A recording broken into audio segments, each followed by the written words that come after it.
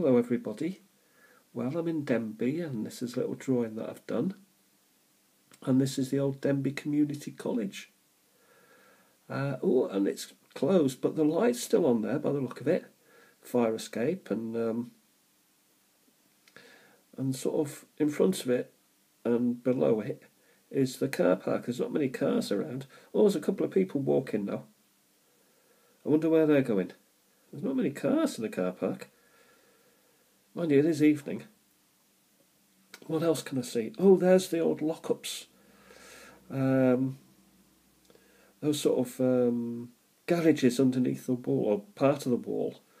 And just by the right hand side of the uh, right hand one is a little um, area where you got some steps and you come out by the college.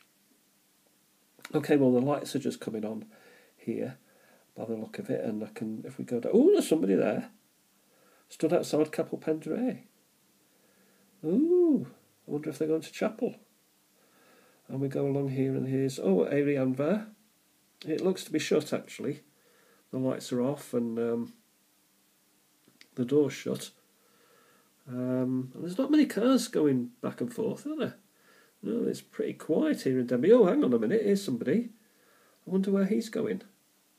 Maybe he's going to chapel, or maybe he's going to. Um, well, he can't, he can't go to the college because that's shut, and he's he hasn't got a car because no cars there.